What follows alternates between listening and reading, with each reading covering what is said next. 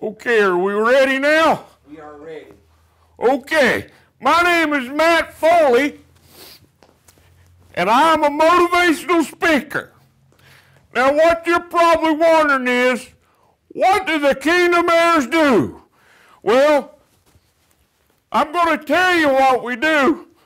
We, we, we live in a van down by the river, especially Steve.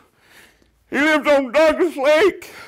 Well, it's a lake and not a river, but you get the gist. Well, what you're probably going to find out is we're a bunch of cool guys. And you're probably asking yourself, hey, Matt, when am I going to get to get on the internet and see what the Kingdom Heirs do?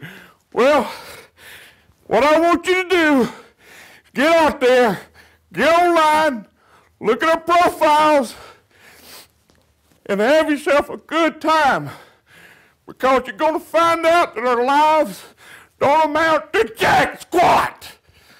So get on there now. I'll be looking for you, and you tell them old Matt sent you. Thank you.